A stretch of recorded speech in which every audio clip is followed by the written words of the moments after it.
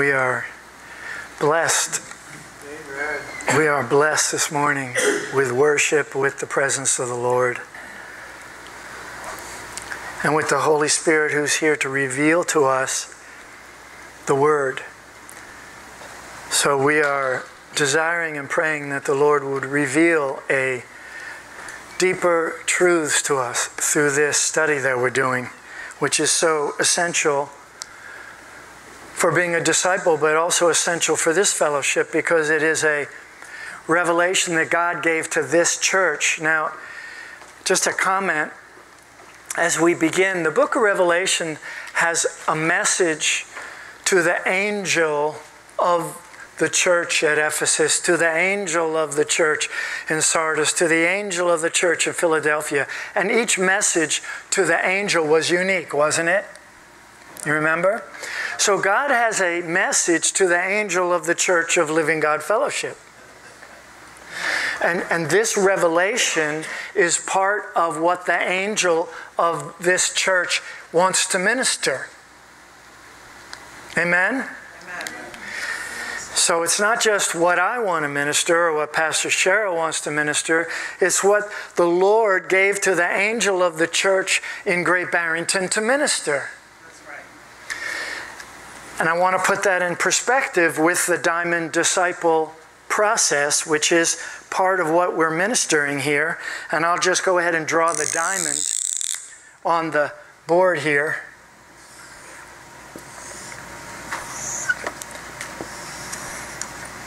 The diamond of the discipling process, how to sparkle and be a diamond disciple. We've been studying the four points areas, um, regions, disciplines, lifestyles of each point. And uh, if you remember, just as a really quick review, last week we studied the point at the bottom, which was called the what? The Christ life.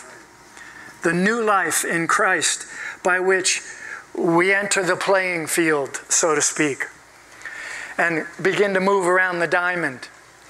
Thank God, God is always hitting grand slams. So we go around it once and we come to home base, and then boom, there it goes again. Base is loaded. And we go around again. So, this is a process that God uses to emphasize different areas of our walk at different seasons or during the day. Do you remember the second point? The Word of God, which we studied. The third point devotion. devotion. And the, this point here was fellowship. Fellowship. Fellows in a ship. Now, these are all in a process, they're not separate, they're connected. Even though I'm, I'm teaching on them separately, we have to keep in mind a synergy and an involvement. They all influence each other, and I'll hopefully be able to go on and begin to teach of the interconnectedness of these. Because if you look at a stool with the fellowship, devotion, Christ life, and word, look. What are they? Those are supporting structures that go from one to another and make the whole system stronger. So these are not separated, these are all integrated. And then we are studying from Ezekiel, from Isaiah, and from Revelations the four living creatures around the throne that hold four positions before the throne, day and night.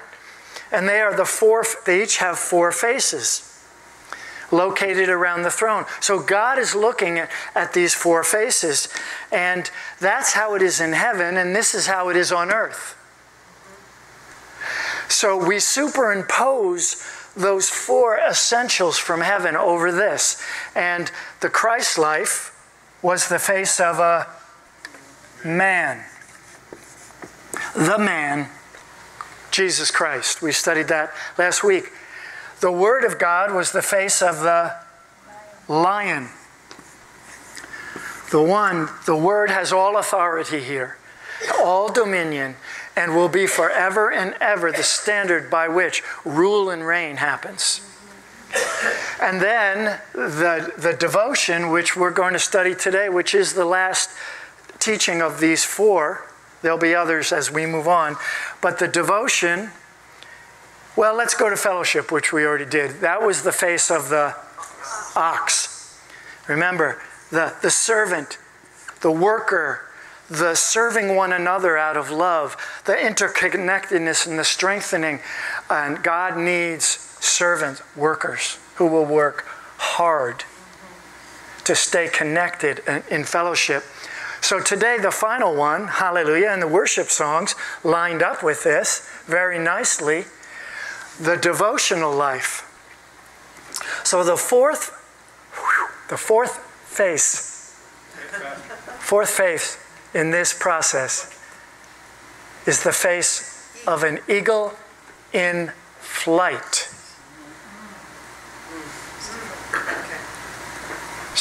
The scripture says the face of a man, the face of a lion, the face of an ox, and the face of an eagle in flight is the only one in movement. Devotion, your devotional life is where the movement happens. Devotion is the top position. It expresses your devotion, your emotion with a true heart of worship. Worship the Lord in spirit and in truth. That's one of the interconnectedness. Jesus talked about these, this interconnected. So devotion has with it a life of prayer, worship, praise, and presence.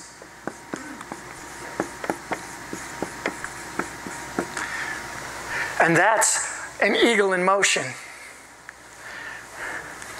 So let, us dive in, shall we? Isaiah 40 31. The main scripture for this uh, aspect I'm going to bring out today is Isaiah 40 31.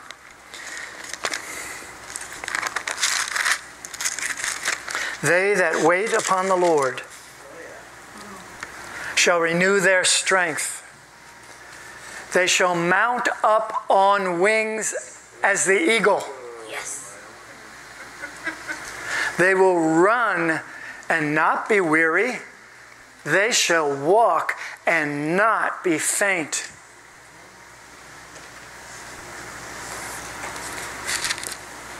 Let me say that again.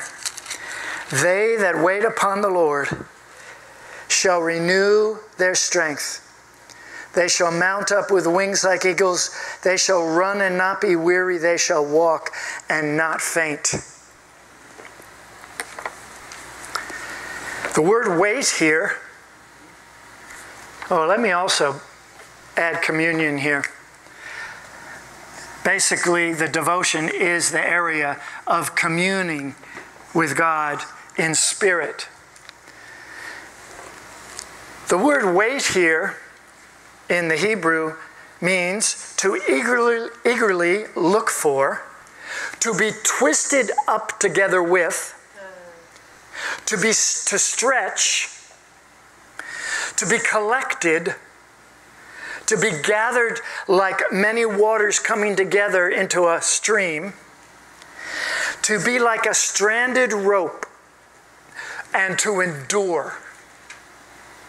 That's from the concordance. So you can see waiting on the Lord strands us together with the Spirit of God so that we are not easily uh, broken apart. So we have the strength of the Spirit doing the work, not us doing the work. And with that, we are stretched out of the earth and caused to be able to fly to mount up. To mount up means has the impression of here, you know,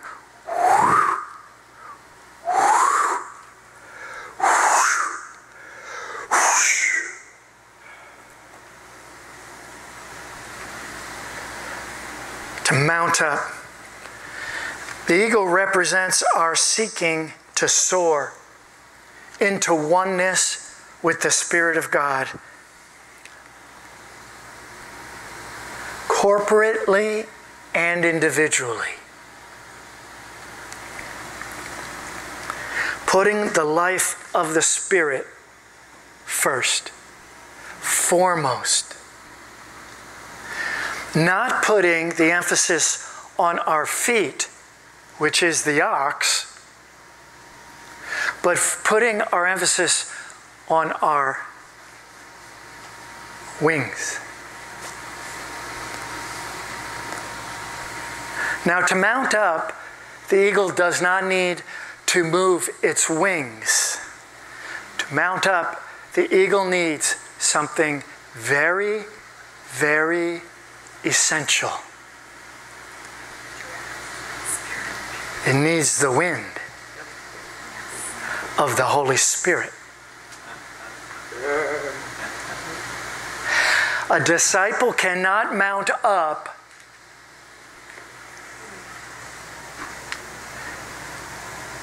without the wind for the eagle to be in motion. Around the throne, the eagle was in motion. Why? Because the whole atmosphere of heaven is filled with the power and presence and wind of the Holy Spirit. If you spend some time and read Ezekiel's description again, whew, there was so much stuff happening all at once and wheels and colors and things and flashes of lightning and the stuff moving all around. He was in the spirit, wasn't he? And when John gets the revelation of the creatures, it says, And I was in the Spirit on the Lord's day. He had spread his wings on the Lord's day. He did not only study his scrolls, he put wing, the Lord put wings on the scrolls of the Word. So we, what's interesting is that that around heaven's throne the four living creatures and the four faces of each living creature are all saying one word primarily Amen. Read, read it in the Word.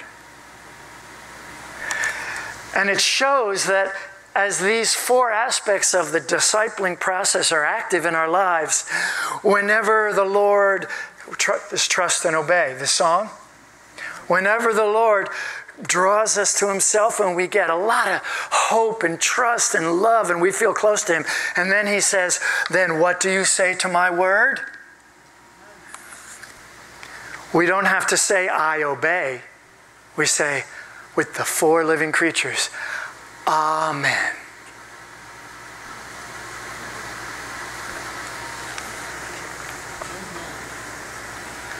Brother Arthur Burt, who taught here and we were blessed to know, who was a very unusual, had a very unusual life.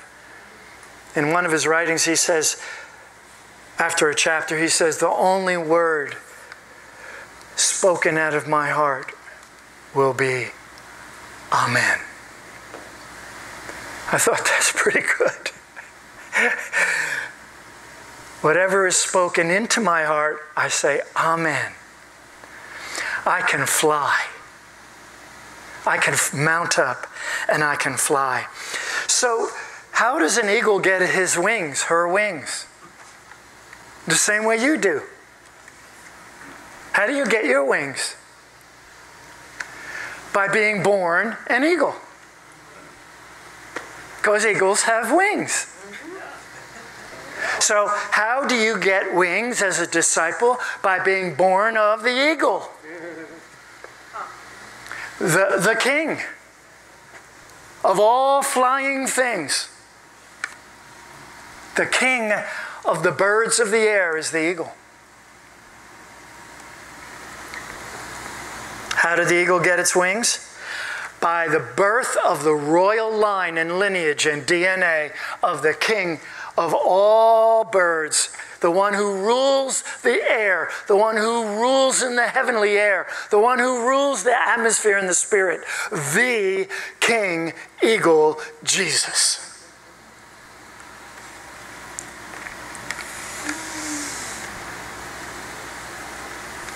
A royal descent of every child of God born of the King. God means to give us a heaven's life,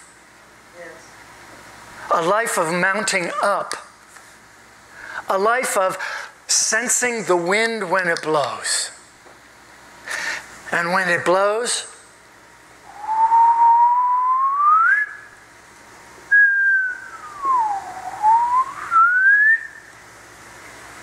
That's the life of a disciple. And it mounts us up. To, to do that, the wings of an eagle must be very strong, stronger than any other bird.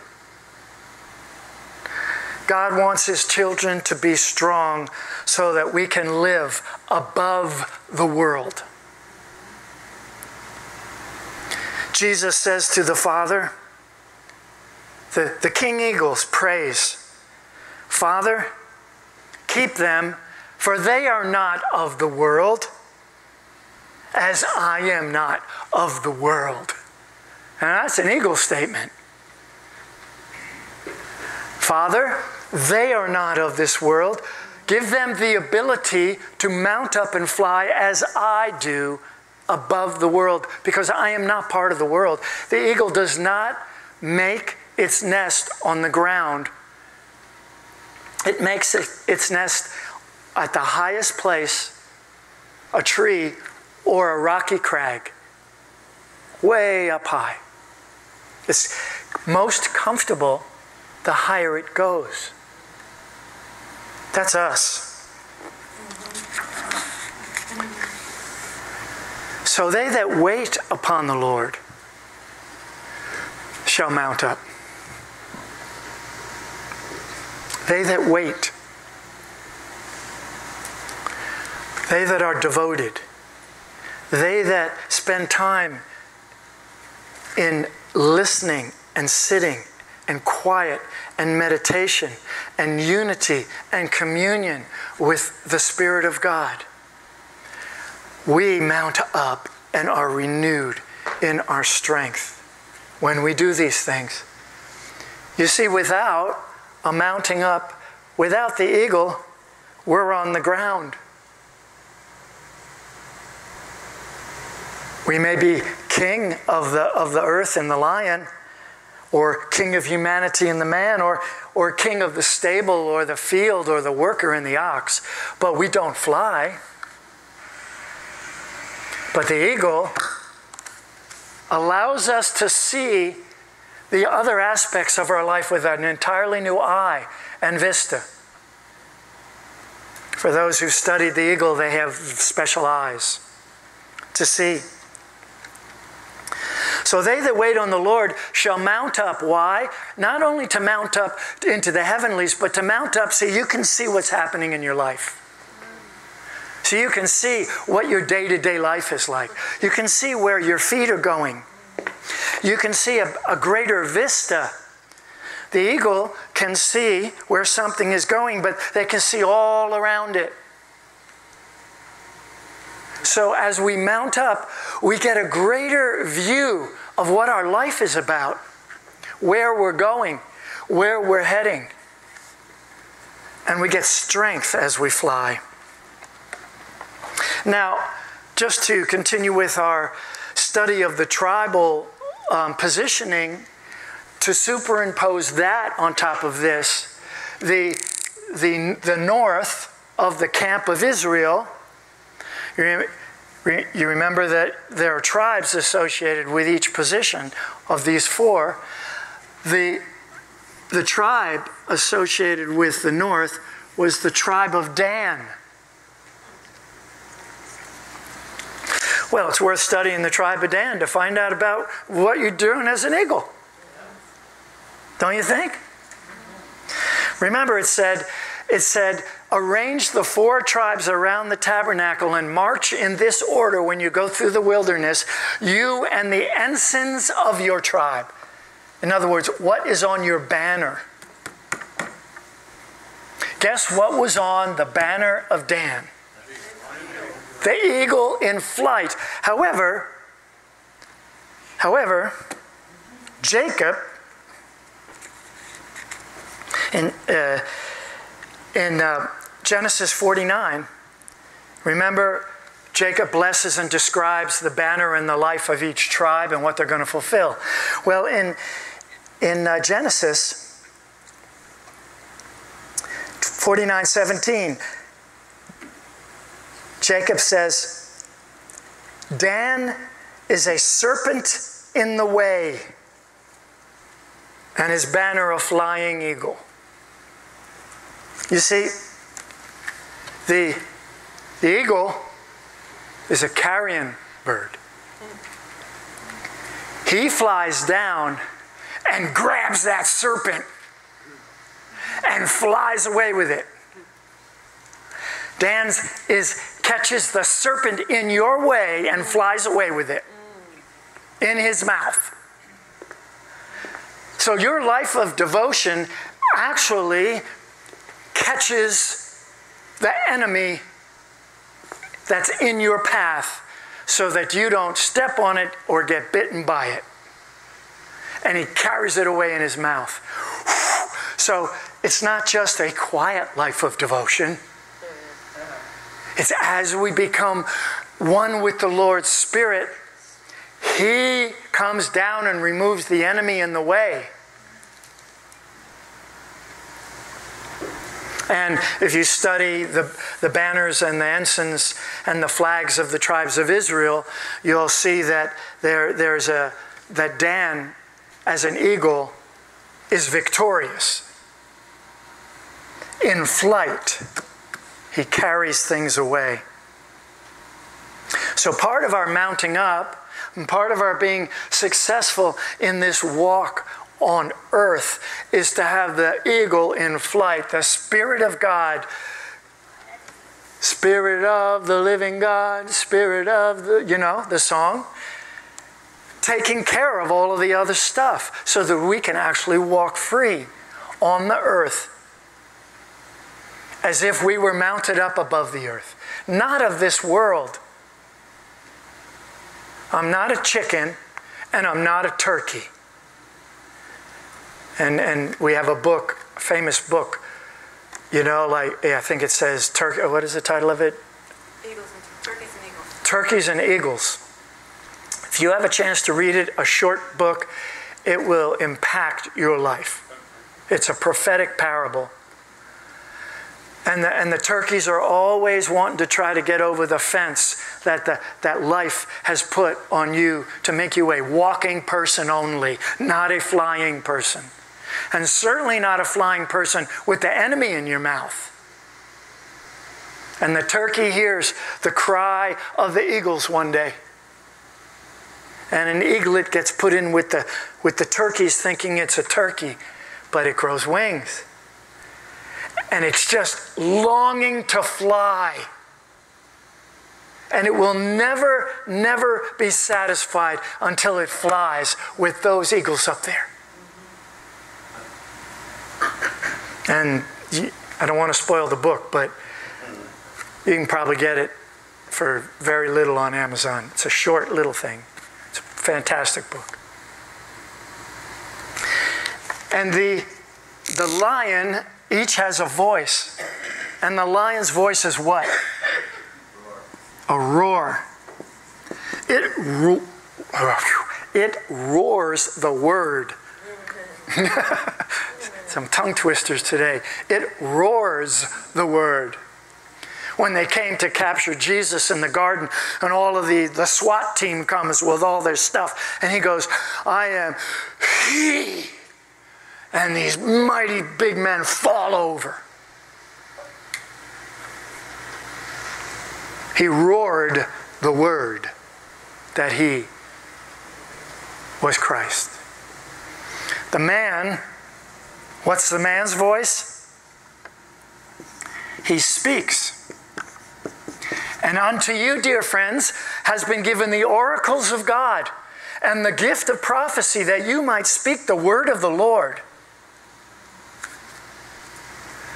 On the earth.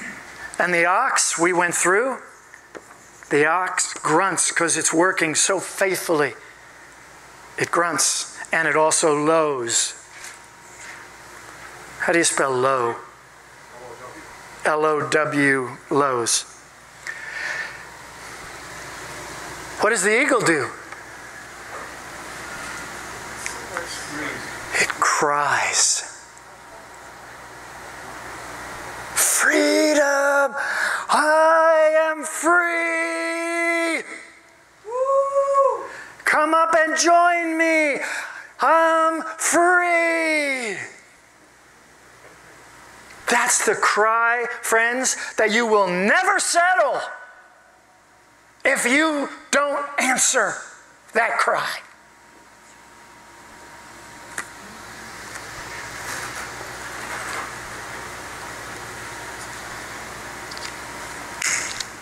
The effortless freedom that is in the DNA of your birth as an eaglet, not a turkey, and not a chicken laying eggs for somebody else.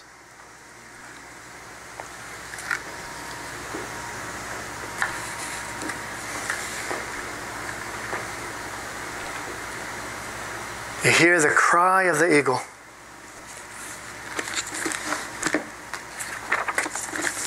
Just a couple more things and I'll close.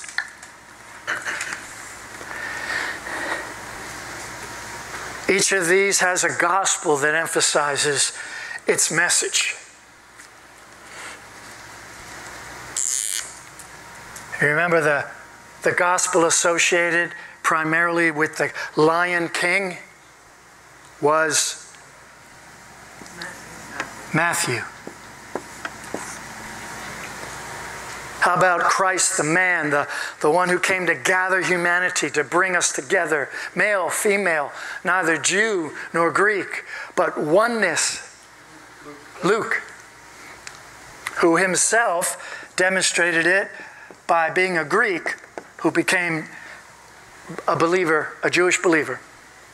And the ox, Mark. And straightway Jesus went out of the stable to work.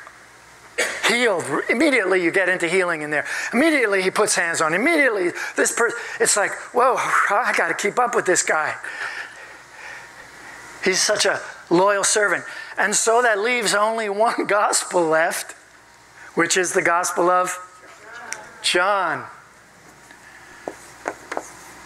The one who was devoted to Christ and leaned his head on his breast at the Passover. The one who loved him and who, it says, John actually writes, the one whom Christ loved. he was writing his own story. In the beginning was the Word, and the Word was with God, and the Word was God. And we beheld his glory on the, you know, the majestic mountain glory in the spirit. John beheld his glory. John went into the glory in the book of Revelations. He went up into heaven and joined the eagles. And he got revelation about the history, the whole history of man. Now that's an eagle perspective.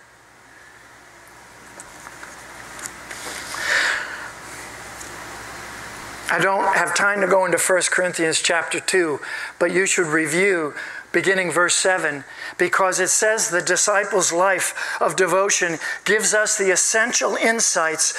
We gain a higher perspective that only the Spirit can impart. It says we learn spiritual things with spiritual words by spiritual perceptions that no man by himself could know. Our knowledge comes from a devotional life, not from a study of the Word only. So this connection becomes very, very strong. Spirit and truth. We need revelation on the Word.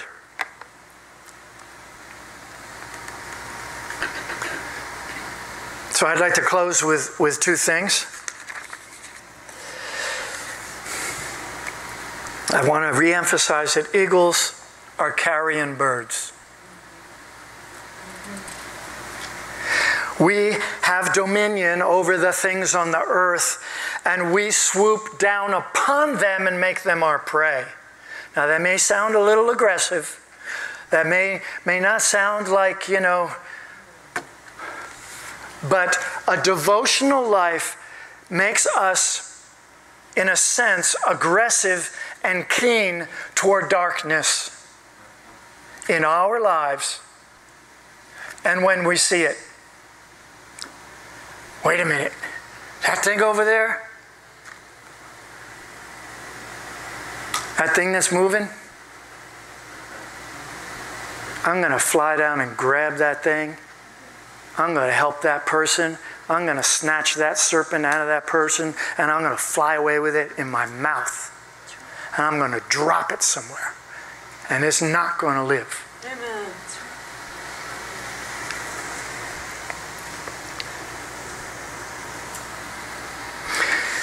Some of you may have read The Lord of the Rings or, or seen the movies. But in, in the book, the, the true salvation of that parable, which is a story of the history of mankind, is extremely prophetic in every way. Who came to save the day three times in that book? The eagles.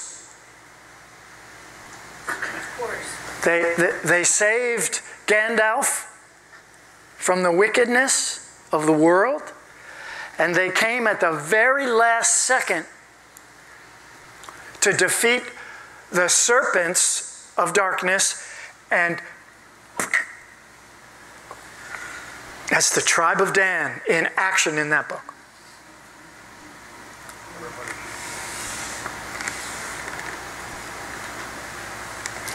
So we too must do flyovers. Be vigilant with the eyes of the eagle over our own hearts and lives. And do flyovers. How did you get in here? You're not supposed to be in here. Get out of here.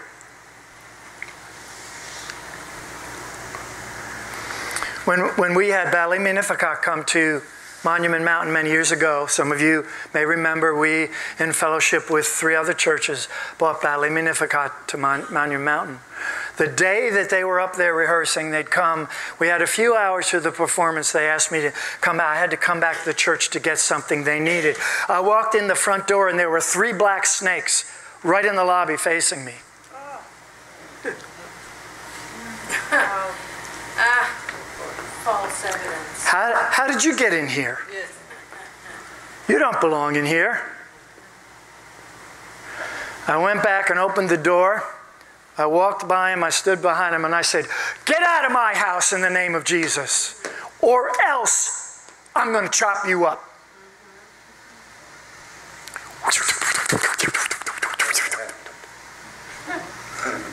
You think I'm going to leave them in the church for you all? That was a parable. You do the same for me, you do the same for others, you do the same for the church. That stuff doesn't belong here.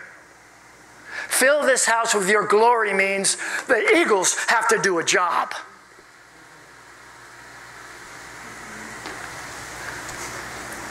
The eagle part of you as a disciple is like that, so that we can have a house of glory and heaven can be seen on earth like around the throne.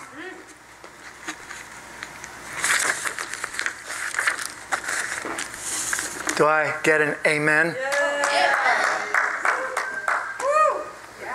And that completes the diamond disciple process.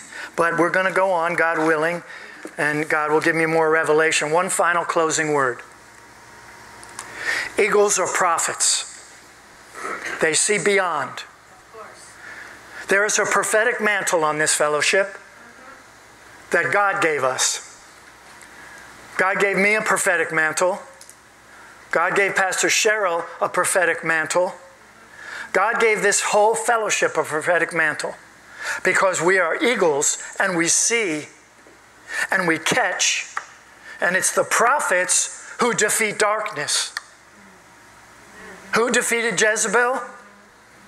Well, it was Jehu, but he was appointed. Elijah and Elisha did the work. So God is calling this fellowship through the eagle aspect of a balanced life to speak the word that will set free and cause a mounting up in this region and beyond by the wind of the Spirit coming under our wings and crying, Freedom! Freedom for the captives! Freedom for our families! Freedom for the people we work with! Freedom on the streets! And the evil will be snatched up and carried away by the eagles.